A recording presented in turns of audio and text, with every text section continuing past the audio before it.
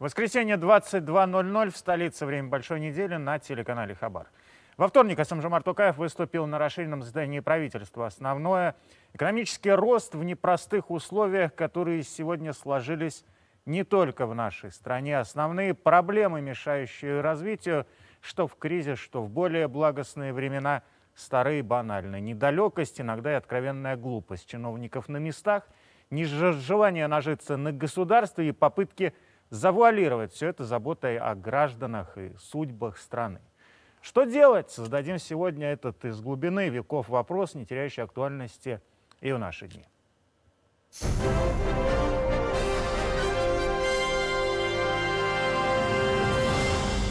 И прямо сейчас вашему вниманию короткий анонс. Почему так дорого? В Казахстане вновь повышается стоимость продуктов. Никогда не думал, что яйца будут 550 тенге. Ну что это, 10 штук, 550 тенге? Да, деньги тают. Есть ли разница в ценах официальной статистики и на рынках? На базаре у нас дешевле. Да, все дорожает. Куда не сунься, и хоть молоко, хоть что, все дорожает. Кто ответственен за стабилизацию цен и как высоко они еще могут взлететь? Об этом и не только поговорим сегодня в большой неделе.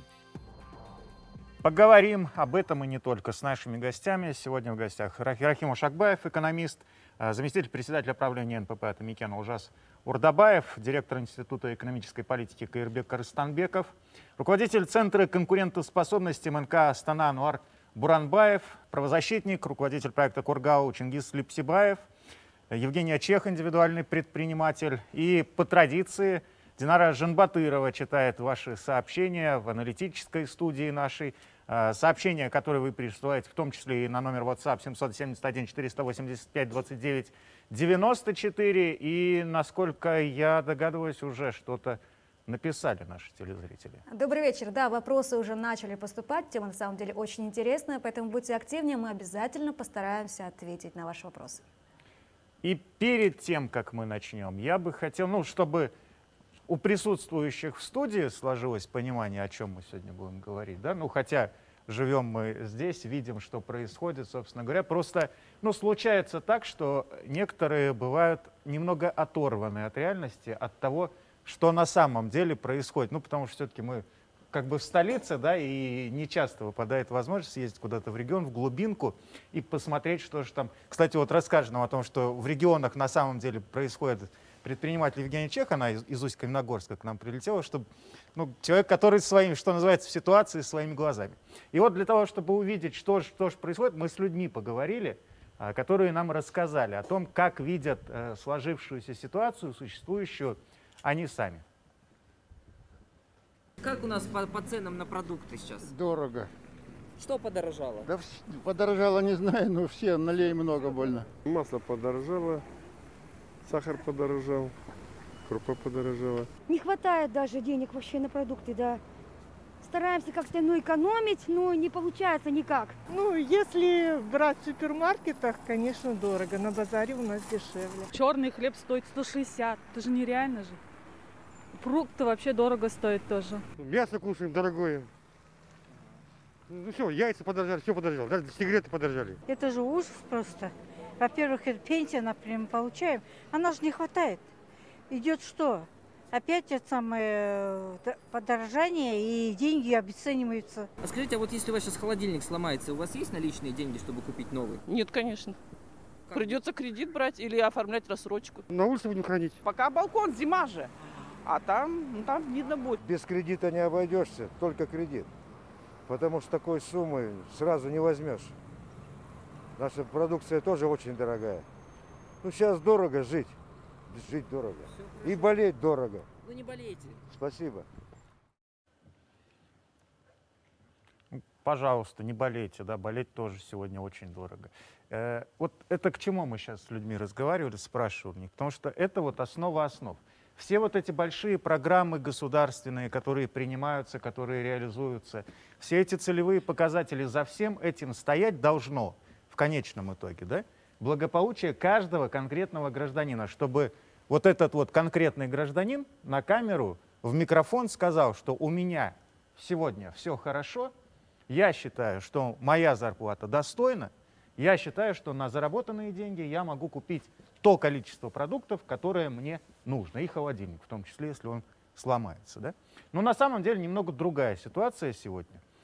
В 2020 году доходы у нас, как известно, сокращались в стране, но цены на продовольствие росли, несмотря на то, что э, устанавливались э, различного рода субсидии для крупных торговых центров.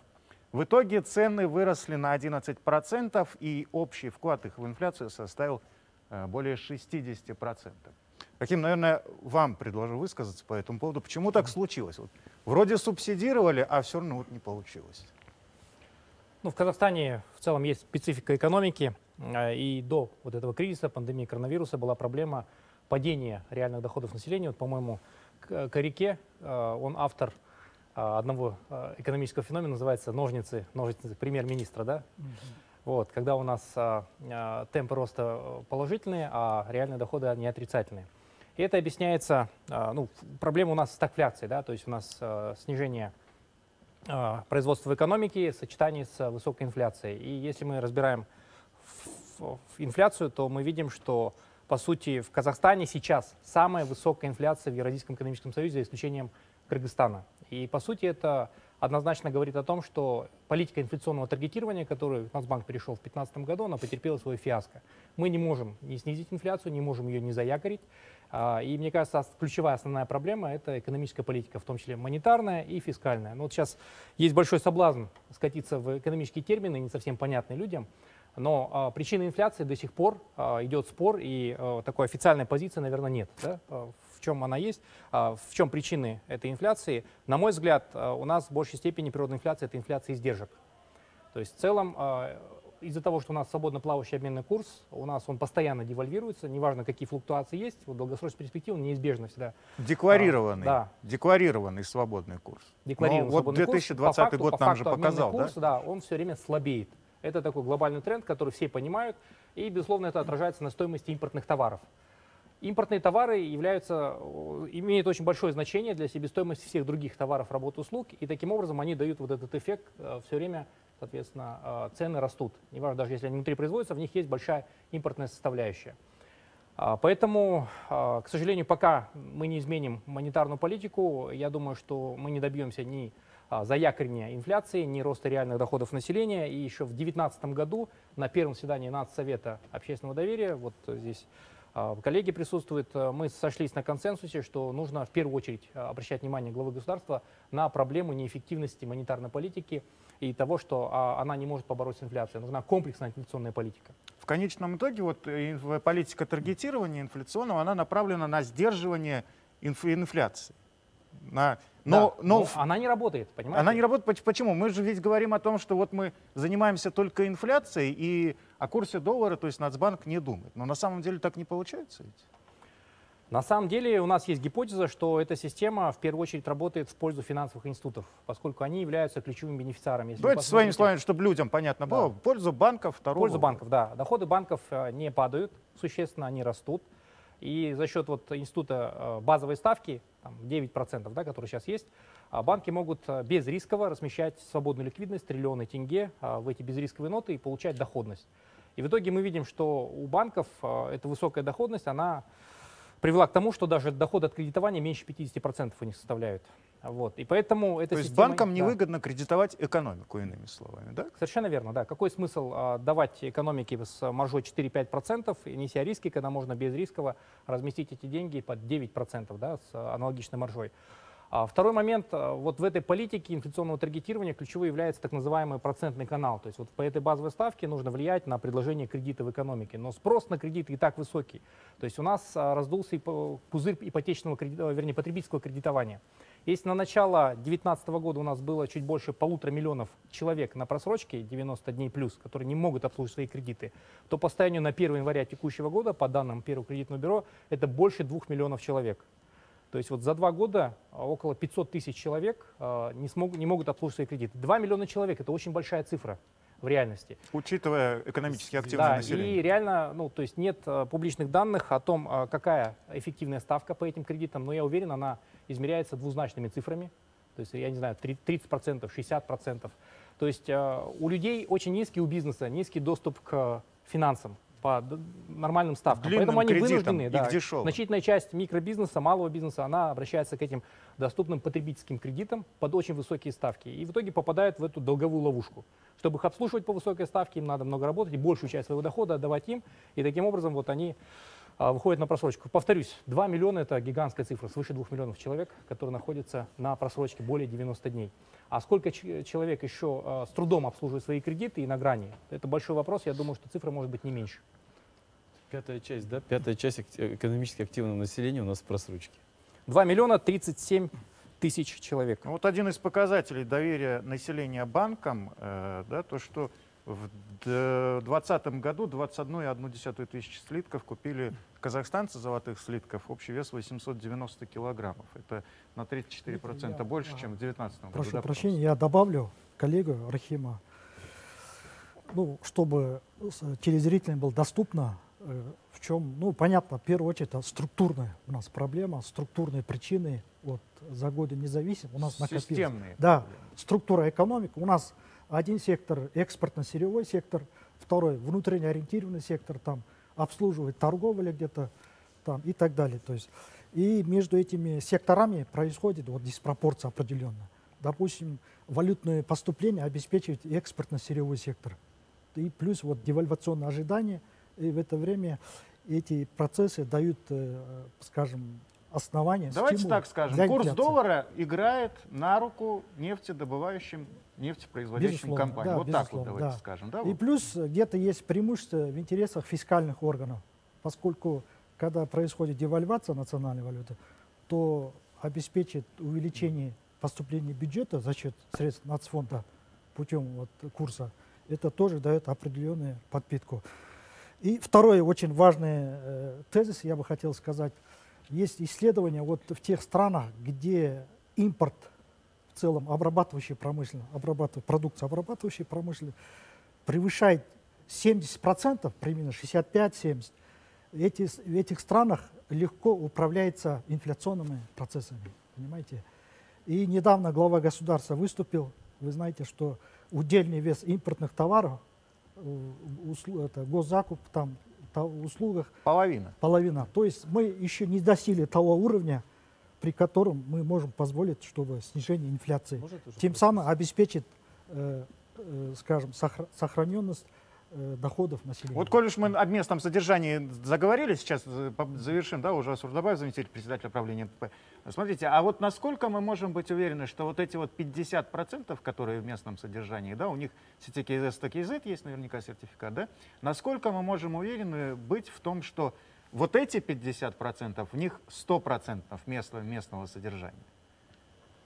Ну, э, можно я, прежде чем отвечу на ваш вопрос, э, хотел вот прокомментировать слова э, коллеги Рахим Сакеновича относительно вот именно кредитной нагрузки на население и ну, том, что э, для бизнеса, особенно для малого бизнеса, крайне, ну, крайне проблематично получать э, кредиты под нормальные проценты. И вот здесь вот, ну, совсем буквально там пару цифр. У нас 370 э, тысяч предпринимателей имеют э, кредиты, из них 137 тысяч это ИП, который имеет потреб кредит. То есть они брали кредит не как э, бизнес, это, это они брали потреб кредит. Потому что им не дают как бизнес. Да, потому что они не могут получить. И это как раз-таки вот одна из таких вот основных проблем. Там, ну, у нас э, мы ездим по регионам, э, и везде, в принципе, наверное, там э, в топе проблем всегда отсутствие каких-то дешев- дешевых длинных денег, э, нормальных каких-то э, именно возможности получать э, средства, там какие-то оборотный капитал и так далее. Но это достаточно большая цифра, и вот 11,5% э, этих кредитов это как раз-таки те, которые на просрочках. Это то, о чем говорил Рахим Сакенович, он говорил в целом про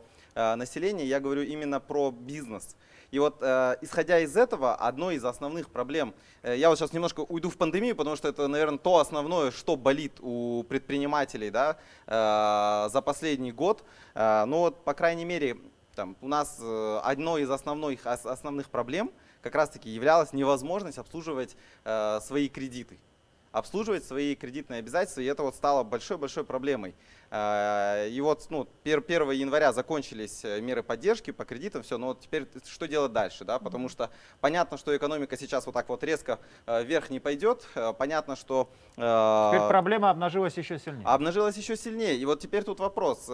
Очень своевременно глава государства сказал о том, что нужен следующий пакет антикризисный. Ну, сейчас формируем совместно с бизнес-сообществом, там, запустили несколько еще опросов, как раз-таки на предмет того, чтобы понять, какие из мер поддержки все-таки сработали, не сработали, и, и почему. Если не сработали, то почему? Потому что очень э, часто мы встречались э, с проблемами бюрократической машины, да, то есть вроде бы есть э, мера поддержки, та же самая там, да, вот какие-то отсрочки кредитные встречались с, с бюрократической машиной внутри банка второго уровня. То есть, ну тут вот очень много... Очень горячо мы эту тему обсуждали в одной Да. из программ наших в прошлом году. Предприниматели жаловались, что приходится идти, брать там миллион-два, да, ко- которые ну, не дают просто. У нас короткая реклама, и мы продолжим сразу после нее. Коллеги, хотел бы вам привести вот буквально таки пару цифр. Если у нас а, в 2008 году был курс доллара 120 тенге, а средняя зарплата, причем говорю про данные статистики, да, которые среднюю температуру по больнице показывают, да, 54 тысячи тенге были. Была средняя заработная плата. То в 2020 году у нас курс уже был 420 тенге, да, то есть сравнение со 120. При заработной плате официальной 197 тысяч 750 тенге. Я к чему говорю? Что если вот посчитать по процентам, то рост 2008 э, к 2000 м, к, вот, к уровню 2008 года у нас курса это 350 процентов. Понимаете? раза. Да, а рост заработных плат 366. То есть наоборот, да, курс 366, а а рост заработных плат 350, да. То есть у нас а, немножко курс, да, он не поспевает за а, курсом официальных заработных плат. Причем Потому что мы же знаем, да? говорим об официальных Да, причем это официально, да. которые со- совершенно да, не показывают истинной картины, да, потому что ну, э, огромная разница между э, ну, как бы тем, что декларируется, тем, что на самом деле. И а, к чему я это говорю? К тому, что у нас эта проблема, она в первую очередь касается, конечно же, не только бизнеса, да, но еще простых граждан, которые сейчас, да, вот как уже говорил В Рахим, конечном итоге да, она сказывается на жизни. Безусловно, и граждан. каждый на это на себе э, может ощутить. И я еще хотел бы привести вам буквально несколько да, э, моментов. У нас э, есть 5,5 миллиардов долларов, да, вот в 2019 году дефицит торгового баланса, да, то есть мы наторговали меньше на 5,5 миллиардов. И я хотел бы просто проговорить, вот чем мы торгуем вообще за рубеж. Первое место это сырая нефть, второе продукты неорганической химии, третье медь, четвертое ферросплавы, пятое природный газ, шестое а, прокат, седьмое руды и восьмое каким-то чудом сюда за- залетели да, э, автотранспортные средства, девятое алюминий, да, десятое это пшеница. Так вот, ну я просто опять же сравнение, 2, 2 триллиона, а, 2, 2 миллиарда, да, 723 миллиона это, а, сто- это стоимость да, экспорта нефти, и на этом фоне, да, я просто проговорю, да, 52, 52 миллиона всего лишь. Это, то есть по сравнению с двумя миллиардами, да, это э, автомобили. Вот, собственно, и все, почему у нас все так, да, то есть мы ничем и продуктами питания, которые каждый из нас пользуется, я не экономист, да, ну, я магистр госадминистрирования, да, поэтому, в общем, я экономику понимаю. Но если говорить простым языком, мы ничего не поставляем за рубеж, что каждый из нас пользуется. А за рубеж поставляется только, только продукты, чем торгует крупный бизнес. Поэтому государство не заинтересовано, то есть мелкий бизнес, чем он торгует, мы его за рубеж не продаем. Соответственно, когда приходит крупный бизнес, он говорит, я плачу тебе основное количество налогов, а вот эта вся мелочь, да, она не имеет голоса. Вот и все. Чингис поднял хорошую тему. Тему пойду пр- пр- против общего тренда, можете меня ненавидеть. Я так и боялся, что все обсуждение сведется к двум вещам. Неправильная политика Нацбанка, валютный курс и местное содержание. Ну, давайте пойдем, да, мы об этом говорим с 2003 года все. На самом деле в 2008 году, в 2008 году, когда первая девальвация была, 120-150, то же самое, как бы, да, а, эти разговоры у нас бесконечны. Но я соглашусь, у нас, не, у нас проблема структурная. У нас анклавная экономика. У нас есть нормальные сырьевые сектора, которые добывают, отправляют на экспорт, да? И есть все остальные, которые их обслуживают. Поэтому давайте обманывать себя не будем. Весь наш малый бизнес занимается обслуживанием сырьевой ренты. Где развит, где развит наш малый бизнес в основном? Это два крупных города. Алмата и Нур-Султан. Чем занимается малый бизнес в Алмате? Он обслуживает ту часть сырьевой ренты, которая перераспределяется через частные финансовые институты, так ненавидимые вами банки. Чем занимается бизнес в городе Нур-Султан? Он обслуживает ту часть сырьевой ренты, которая распределяется через государственный бюджет. Простые цифры, простые цифры. Как вы думаете, из там более миллиона с лишним хозяйствующих субъектов, сколько у нас средних компаний в стране? Которые могут экспортировать, которые могут привлекать технологии, которые могут что-то 500-1000 делать. всего Единицы, экспортеров. Две с половиной тысячи на всю страну. Свыше, чем от миллиона хозяйствующих субъектов. Вот вам ответ. У нас вот такая штанга. У нас вот здесь сырье, и здесь те, кто перераспределяет. Ануар, вот её. эти объективные факты, они нисколько А, не извиняют, смотрите, а, не- смотрите, не, не уменьшают Рафик, тот факт дал того, сказать, что как бы, реальные доходы населения сказать. падают, инфляция Я очень могу высокая, сказать, поговорите и есть и очень высокая неуверенность вообще в экономическом сказать. будущем. Дайте Это сказать, да. Я вас слушал внимательно. Поговорите с промышленниками. Они вам скажут, что слабый тенге для импортозамещения сделал гораздо больше, чем все правительственные программы. Поймите, представьте, сколько им здесь удалось и при текущей, и... М, У нас Давайте нет так, подожди. объективных а, факторов конкурентоспособности Смотрите, мы опять начинаем, мы опять начинаем, промышленности. мы опять начинаем вечную историю, как бы, да. Давайте посмотрим, где у нас идет импортозамещение, про что постоянно говорит НПП. Это сплошной разговор про регулируемые закупки. Извините, но у нас потребление домохозяйств это 50% от ВВП, если мы идем методом расходов. Почему-то наш бизнес не смотрит, да, как обслуживать домохозяйство. Поэтому люди выходят и говорят, ничего нашего нет. Так У структура нас идет- экономики Ануар, вы такая. хотите оправдать нашу неуспешную Я ничего не оправдываю, я, я просто... Есть объективные факторы, есть вот Я- реальные факторы я того, ничего что не мысль оправдываю. о слабом тенге, лучше. который поддерживает э, Я не- я импортозамещение. ничего Давайте ее было не продолжим и допустить такой разовьем. высокой инфляции, можно было не допустить Подождите. такого падения реальных Подожди. доходов. Вот. Можно было гораздо Теперь мы, оптимистичнее переход- смотреть теперь мы переходим к важному. Вот все эти разговоры, вот вся вот эта антология смыслов, которая сейчас идет, она придет к тому, что начали делать наши северные соседи, да? Попытка контроля цен. Началось у нас ценовое регулирование. Оно не заканчивалось. Давайте будем регулировать цены на 19 социально значимых. Теперь будем... Постойте, а 20-й год же Регулировать. показал вот эту, вот эту регуляторику-то. Регуляторика приводит к тому, мы все забыли Советский Союз.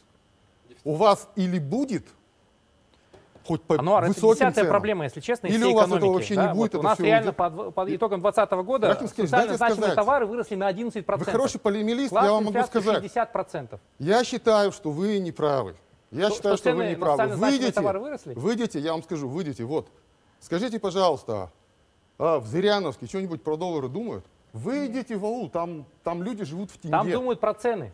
Там думают, а не про доллары. Вот. Именно думают Теперь- про цены, господа. Вот Номер я слушаю, проблема слушаю, – да, большие. цены. Теперь да, смотрите. По всем опросам кроме населения. Того, и кроме Отвечаю- того, еще и отвечаю на работа. ваш вопрос. Людям, людям надо на что-то жить. Поэтому Правильно. они развивают Поэтому- бизнес поэтому свой, давай- пытаются, а поэтому им давайте- этого не дают. Поэтому давайте говорить не о том, как держать цены, а о том, как сделать так, чтобы люди могли больше зарабатывать. Это вопрос в сторону И правительства. здесь мы и переходим к следующей, да, что у нас очень низкая производительность в экономике. Почему низкая производительность в экономике? Потому что мы всячески пытаемся удержать безработицу. Абсолютно правильно как сказали, у нас нормальная структурная безработица. Удержать и снизить показатели. Коллеги, да? 4,5% безработица, это Вы то, что называется... Да ну вы что говорите Подождите, такое? подождите. Это зарегистрировано. Подождите. А Правительство, сколько вы знаете, 4,5% вы правительство ориентируется на вот эти вот безумные цифры, типа 4,5. Они не отражают реальность. Они нет, я согласен с вами. Абсолютно не отражают Но реальность. У нас у чиновников есть очень отличный, реальная, у, очень чиновников есть искажен. отличный аргумент. Зайдите на сайт Inbek.kz, посмотрите количество вакансий в городе Нур-Султан. Каждый день больше 20 тысяч вакансий. Какая безработица? Но когда Там вы зайдете 40 дальше, когда вы зай- абсолютно, как только вы зайдете дальше и поставите зарплату хотя бы на уровне медианы, у вас сокращается до 300 вакансий. Поставите на уровне средней зарплаты, у вас... Давайте говорить Анар, о вы том, тут как... попада- попадаете в свою же ловушку того, что смотрите Нурсултан Алмату. Посмотрите, вот э, у нас э, Давайте- коллега из Восточного Казахстана, Хорошо. он мы расскажет делали ситуацию те же там. самые, мы делали те же самые упражнения для центрального Казахстана. Везде примерно одинаково. В Восточном Казахстане есть Я- 20 тысяч вакансий. Центральный? Казахстан, Э, Вакансии есть, я знаю, Я потому что я сама приехал. журналист, и мы занимаемся тем, что, естественно, тоже отслеживаем эту ситуацию и смотрим, где, как и так далее. Вакансии есть. Но эти вакансии действительно не квалифицированы, не для квалифицированных Дальше я людей. скажу, почему это происходит. Да? Давайте говорить. У нас очень высокая концентрация в экономике. У нас олигопольная экономика везде. То есть если вы хотите что-то сделать, вы не войдете ни в какой сектор. Там, все сложи, там уже все сложилось, там все забетонировано, в том числе на уровне подзаконных актов, которые были приняты. У нас бесконечное количество единых операторов. У нас по факту остался один оператор по телекоммуникациям. Ну, Билайн как-то держится, все остальное у нас как бы, да? Зайдите, посмотрите как бы. Ну да, отсюда получается рулим. очень простая Одну, вещь. да? Когда у вас очень дорогой вход на рынок, очень, по- поймите, люди очень рациональны. Люди пойдут заниматься бизнесом и что-то производить, чтобы удовлетворять потребности, когда они будут понимать, что они на этом Давайте вернемся к реальным доходам населения, к инфляции. Давайте. По всем опросам Только не к населения на инфляции, протяжении давайте вернемся лет... к доходам Э, населения. Рахим, я бы хотел того, вот, вот эту мысль продолжить касательно слабого тенге, который способствует импортозамещению. Давайте разовьем ее. Можно, да? Вот когда человек заходит в магазин, он не нефть покупает, не тяжелые металлы, не медь, и не ферросплавы, и не природный газ. Он покупает молоко, хлеб и всякое такое. И когда, извиняюсь, белорусское молоко стоит дешевле, чем казахстанское, вопрос, почему казахстанское дороже? Почти лю- любая Здесь номенклатура... речь да, о том, что у про- нас не создается предприятий перерабатывающих, Нет. потому что мы Опять же, занимаемся говорил перераспределением У чем нас в Восточном? Казахстане, у нас в. Восточном Казахстане есть несколько крупных, достаточно тех же самых молокоперерабатывающих заводов. В итоге молоко у нас дорожает чуть ли не каждый Потому что квартал. дорогие заемные средства, о чем Вот говорил именно. Рахим. Почему? Почему? Объясните мне. И причем говорят, что они не загружены. Они там э, загружены на 30, на 50 процентов. И, ну, цены-то они поднимают. И придумывают, да, и придумывают разные ухищрения, скажу чтобы просто, Понимаете, их вот ключевой продукция... экономический спор, он, а, который последние годы, там, десятилетия длится вокруг Казахстана, а, это природа инфляции. Да? Они считают, что если инфляция у вас высокая, вы должны ее побороть а, дорогими кредитами. Есть другая точка зрения, что наоборот, если у вас высокая инфляция, у вас инфляция издержек, соответственно, вы должны сделать кредиты более дешевыми. И у нас складывается парадоксальная ситуация, когда в целом по экономике мы держим высокую ставку по кредитам, но через экономику простых вещей и дорожную карту бизнеса 10-20 тысяч предприятий всего получают по льготные ставки. И когда мы спрашиваем правительство, а что вы делаете, чтобы поддержать бизнес? Они говорят, а у нас вот экономика Вот, простых отличный. вещей, а у нас дорожная карта Вот бизнеса. это вот а то, что они проблема. охватили дорожная карта бизнеса за 10 лет, Как своей вы- реализации охватила вы одну сотую процента предпринимателей. Как Это вы факт. относитесь к субсидированным кредитам? А помните, да, Биогруп, Лучше иметь когда субсидированный вошел, да, кредит, в чем вообще не иметь. этих Вот. Организаций? Мы пришли к тому, вот что на сегодняшний день 18-20%. ДКБ, экономика простых вещей, это стали финансовыми костылями. Это стали финансовыми которые костылями. охватывают когда мизерную часть предпринимателей. Абсолютно. неоправданно. Абсолютно. Здесь мы с вами сходимся. То есть получается так, опять фаворитизм, да, доступ. Мы точно так же разговаривали с банками. Банкиры говорят, мы говорим, представьте, завтра у бюджета плохо. И вы не получите денег на субсидируемую ставку. Вот, вот. Во Что всем вы виноваты алматинские Они- финансисты. Хорошо, постойте, а у Они нас говорят- создают МФО с участием Акиматов Нет, и. Это для чего сейчас Банкиры отвечают очень четко, говорят, мы что, идиоты давать людям, которые не... Они могут обслужить эти кредиты и без субсидированной ставки. Абсолютно, Рахим, вы говорите то, что сложилось. Нормальный фаворитизм, нормально это, да? Просто за все это время, начиная с 2008 года, после первого кризиса, мы рыночные реформы подменили реформами распределительной экономики. И мы с сумасшедшей скоростью возвращаемся к командной административной системе. Любимое слово в правительстве, в НПП, где угодно, ручное управление. Давайте вручную порулим и настроим. Не получится. Законы экономики не обмануть. Ну, у нас же рыночная экономика. Почему? Кто а вам вот сказал, что что делать рыночная казахстанцам, дорогие гости? У нас очень много поступает вопросов, даже так э, с жалобами и криками души о том, что дорожают основные цены на основные продукты питания, причем это мясо, рис, макароны, картофель, гречка, которые производятся у нас. И вот они, г- э, наши телезрители говорят, какие методы или способы борьбы с повышением цен вы можете предложить, что делать? Какие-то рекомендации, может быть? Ведь в конечном итоге все вот эти вот наши споры, да, на, на вот эти темы, экономический они закон вот к очень, этому очень всё. простой. Он банальный, он тупой, нравится, не нравится, но хотим, чтобы цены были нормальными, надо развивать конкуренцию. Когда у вас нет конкуренции, когда у вас очень сложный вход на рынок для новых игроков, ну ни для кого не секрет, да, весь ритейл у нас контролируется очень ограниченным количеством людей. Еще какие-то вещи. Этот же ритейл в прошлом году субсидировался, чтобы Он, цены не он росли. субсидировался, да, то есть мы говорим, это фаворитизм, то есть в конце концов субсидии, субсидии это зло по большому. То есть вы считаете, что на рынок может зайти ограниченное число участников, считаю, я которых знаю. пролоббировали? По- Послушайте последнее выступление на расширенном заседании председателя агентства по защите и развитию конкуренции. Он в открытую сказал, Рынки забетонированы. Новому игроку войти невозможно. Поэтому сейчас будем это разгребать, в том числе на уровне подзаконных актов. И отсюда Все отсутствие правильно, но это э, часть проблемы только. Это конкуренции в основная часть числе, проблемы. да? Это Это основная. из- Если у вас мало игроков, у вас не будет, у вас не Подождите, будет С цен. другой стороны, населению говорят, а, идите в бизнес, создавайте, зарабатывайте, живите, и все у вас будет замечательно. Так почему мы, вот получается, мы предприниматели, да, мы не можем, мы не можем нормально работать.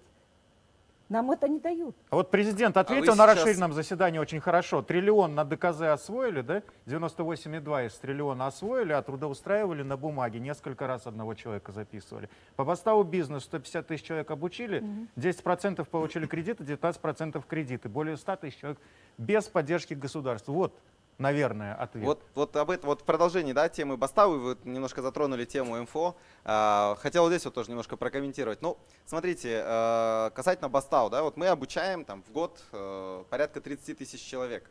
А, из них от 20 до 40 процентов, в зависимости от года, да, то в, последнем, в про- в прошлом году, в 2020 году э, порядка 40 процентов открыли свое дело. Если смотреть ранее, да, то есть когда вот у нас там треть э, обучившихся открывали свое дело, а, дальше, скажем, через год там порядка 90% продолжали работать, платить налоги и так далее. Действительно, всем не хватило денег э, где-то по э, госпрограммам, где-то не хватило э, микрокредитов и так далее по льготным э, ставкам. Поэтому, да, в этом есть вопрос. Поэтому и мы говорим о том, что э, микрокре- ми- микрофинансовые организации не везде идут в район, где, где мы обучаем.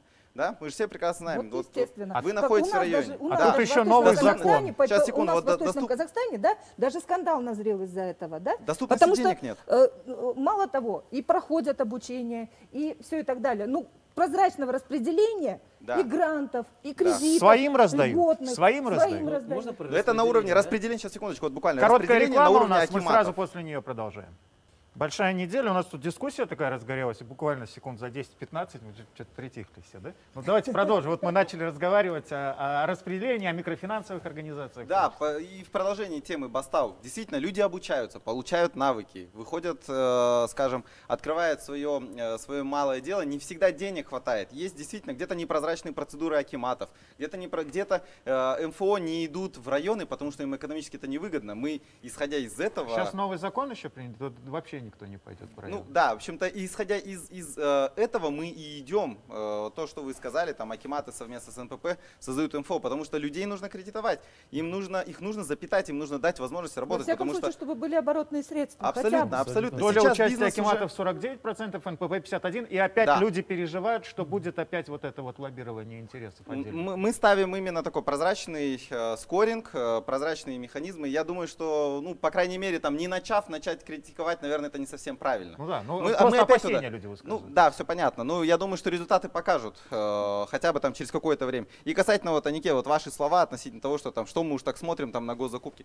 Ну что уж сделать, если у нас структура экономики такова, сколько у нас? Де- де- 9, 9 триллионов тенге это закупки государства и группы э, и фо- Самое- да, фонда знаете, Самрухказна. Ну э, игнорировать, всех- я прошу прощения, я секунду, вы, Да. вы, вы просили Рахим Сакеновича там договорить, я вас прошу.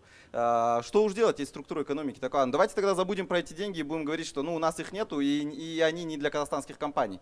Я понимаю, конкуренция, конечно, э, история важная, но мы Здесь говорим о том, что тут нужно, ограничена, тут нужно, ну, нашим казахстанским компаниям нужно в, в этой ситуации тоже определенный такой вот разумный патернализм, э, наверное, тоже оказывать. Знаете, Вот Денис, полугосударственное Денис, МФО, Денис, полугосударственное важно МФО, которое мы сейчас начинаем развивать и кредитовать под 6%, а, по сути, это то же самое, что вот э, госпрограммы по дешев- дешевых кредитов. И все это попытка исправить, залатать нашу вот эту неэффективную монетарную политику, что у нас кредиты дорогие.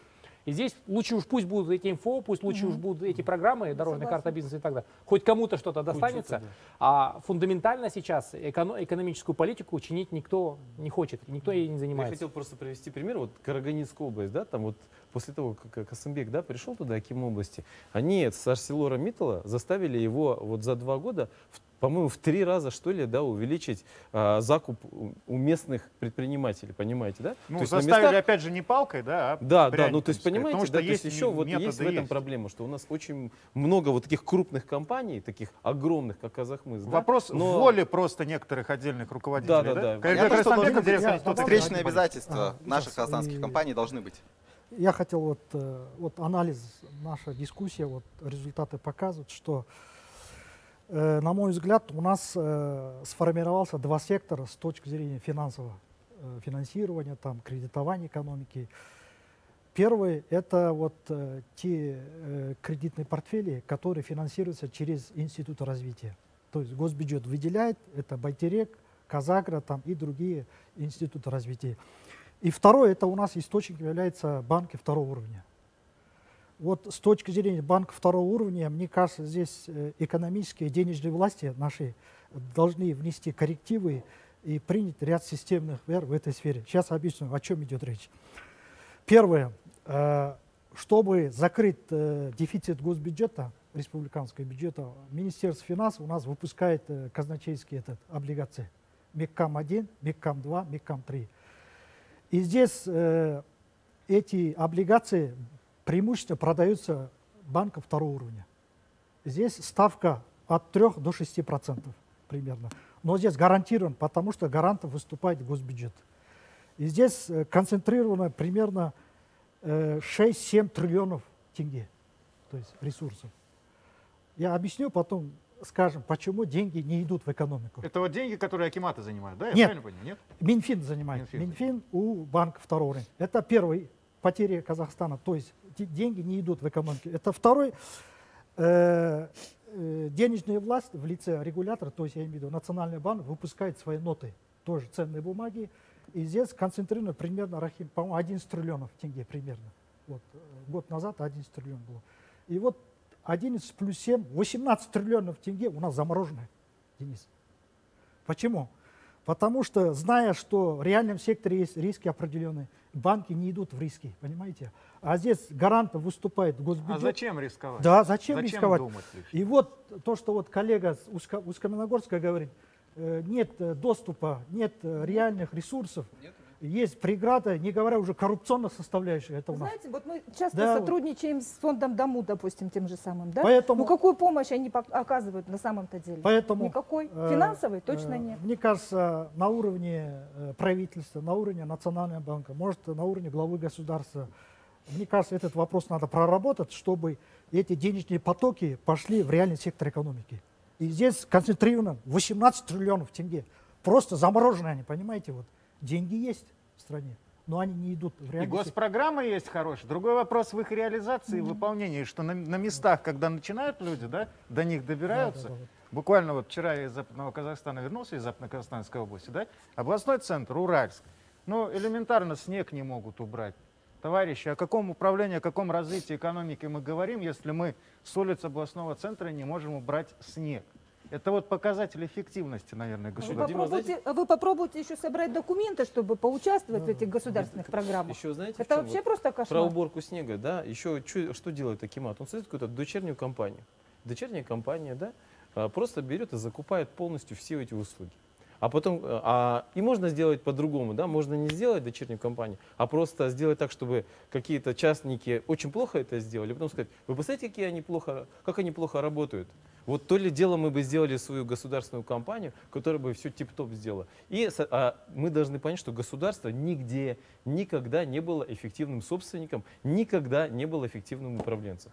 А поскольку у нас 75, вот как коллега говорил, большая да, часть закупок у нас 75% и это государство, то есть пока мы не начнем, вот у нас при каждом министерстве, при каждом акимате, прямо, я не знаю, прям пергамент, да, огромный всевозможных всяких НАО и так далее, и так далее. И с этим надо бороться, да, то есть надо, то есть о чем вот мы сегодня целый день говорим, о чем Рахим говорил, да, о чем все говорим, надо отдавать всю эту конкурентную среду, о чем Ануар говорил, да, и пока мы это все не передадим, я вот просто, мы же тут э, должны для зрителей это все донести, да, проблема в чем? В том, что каждый акимат понимает, что он может создать дочку, там куча э, роднулек сидит, да, своих собственных, да, эти, там люди трудоустроены, все Не прекрасно, тоже, да? Все Давайте в прекрасно, оставшееся да. время поговорим, что Да. можно сделать. В общем, как-то так. Что можно сделать? Давайте. Действительно, мне Картина хотелось вырисовывается узнать. достатно мрачная, да, и мне кажется, имеет смысл об этом. мрачная, Первое, у нас есть, э, ну, объективно растет, об этом мы бьем в колокола уже несколько лет, э, пузырь потребительского кредитования. Его нужно разрешать, он усугубляется.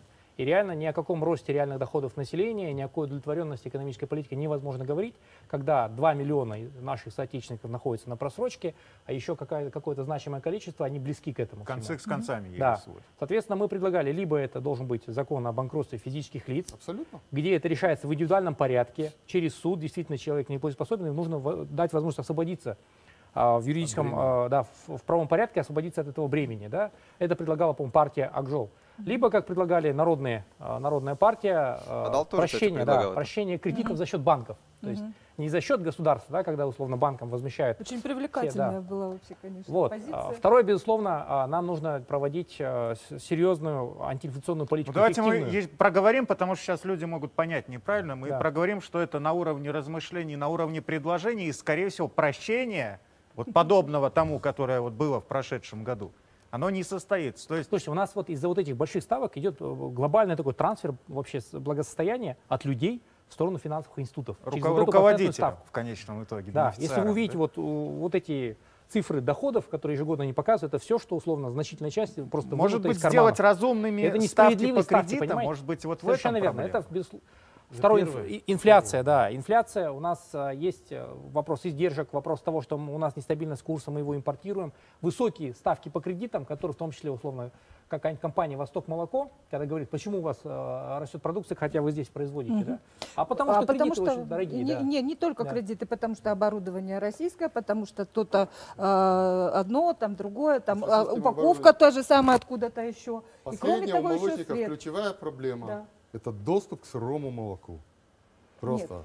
Про- Да? Вроде бы наладили, даже повышают сейчас уже загруженность Ну, Вот перерабатывающих это ключевая, когда вы говорите, что они загружены на 50%, у них просто не хватает сырья. Второе, Когда вы потом, спросите, чтобы заякорить инфляцию, сырья, да, значительная часть начинается потребительской корзины. куст. Да, да, давайте поговорим. Вот, чтобы заякорить инфляцию, чтобы она была более-менее стабильной, да, чтобы действительно там населению было все равно, какой будет курс доллара там, и Мгм. валюты. Вот, нам- Нужно, чтобы а, какую-то значимую часть потребительской корзины производилась в Казахстане. Значит, нам что нужно? Для этого нам нужно Нам нужна внятная, нормальная индустриализация экономики. Совершенно Причем, верно. Что И здесь такое у нее есть многие индустриализация составляющие. В экономики? первую очередь, у нас это 2009 протекционизм. Подождите, подождите. Индустриализация экономики это не про обрабатывающую промышленность. Индустриализация экономики это в целом переход от вот этого ремесленничества, которое у нас есть, да, где молоко производят в крестьянских хозяйствах надворным с- с- способом, Да-да-да. к нормальному. Есть- индустриальному есть производству. Что для этого нужно? Для этого нужен доступ к долгосрочному дешевому капиталу. Понимаете, без капитала вы Для не сделаете ни одно современное производство. того, что не купите дел- IT, не наймете нормальных специалистов. Не, ну это вообще Это- Не завезете нормальное оборудование. Понимаете, нужны нормальные инвестиции, понимаете? Вот то, что там есть, спасибо, что это есть, там, да, по линии институтов развития, там, экономики поставщей, но это ничтожно мало. там сколько? 1700, за два года выделили э, 2700 кредитов. Вот, значит, это нам мало. нужен нормальный. Вот смотрите, с точки зрения банков, вот я почему об этом говорю? Вот эта вся сырьевая гантеля, она не нуждается в местных кредитах. Почему не нуждается? Они имеют нормальные, они нормально имеют доступ, у них валютные поступления, они имеют нормальный доступ на международный рынок капитала. Экспортеры имеется в виду. Экспортеры, Экспортеры, да. они Экспортеры могут сырья. привлекать там, И да? добытчики. Ну, кто Теперь добывает. Мы вот говорим на, про внутренний вот конкурс. на этой стороне микро, малый бизнес, который по умолчанию очень рисковый. Я вам почему привел эту сумасшедшую цифру? На всю огромную страну две с половиной тысячи средних компаний, которые и являются таргет-группой для банков для кредитов.